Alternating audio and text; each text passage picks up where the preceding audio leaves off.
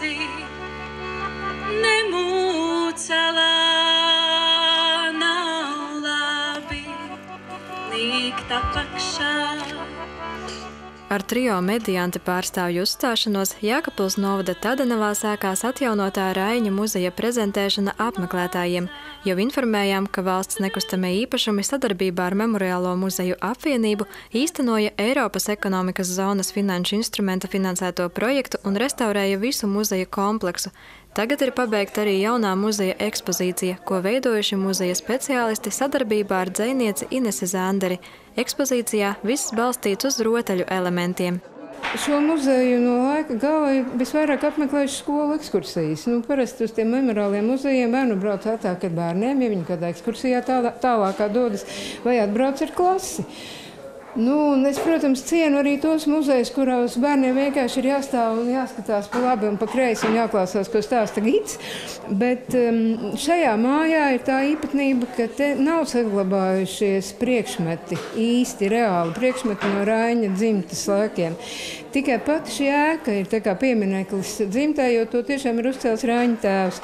Un, un muzeja, eh, memoriālo muzeja apvienības muzejnieki jau arī paši bija nonākuši līdz tai domai, ka nevajag mānīties ar to autentiskumu, ka tas vienkārši neko nedod. Rainis šeit ir bijis bērniņš, bet tam mazs bērniņš.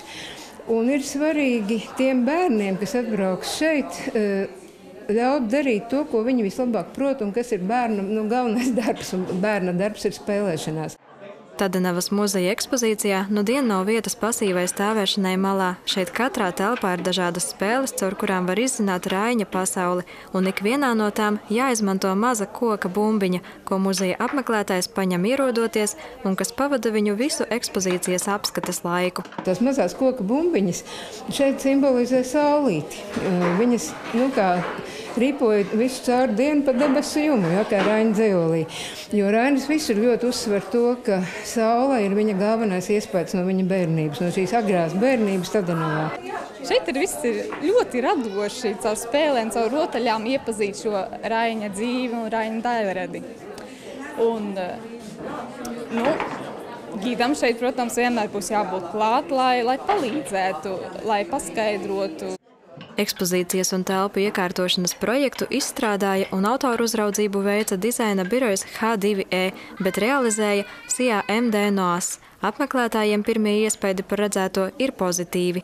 Man šķiet interesants pats fakts, ka tāds muzejs eh, šodien tiek atvērts. Eh, es vēl neesmu visu apskatījusies, tikai pirmās istabas, bet katrā ziņā tas ir ļoti, ļoti intriģējoši, eh, kā mūsdienīgā veidā veidot šādu muzeju.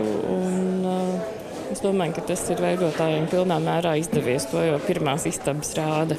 Šis ir ļoti interesants, kā labirinta veida dzīves gājums Rainim. Ļoti interesanti viss ar šīm bumbiņām no koka. Viss. Es šeit esmu pirmo reizi un man ļoti patīk. Kā vērtēji to, ka viss tiek veidots spēļu stilā? Manuprāt, tas ir ļoti Tiešām tas ir ļoti forši, jo arī pašiem mazākajiem ir tiešām interesanti.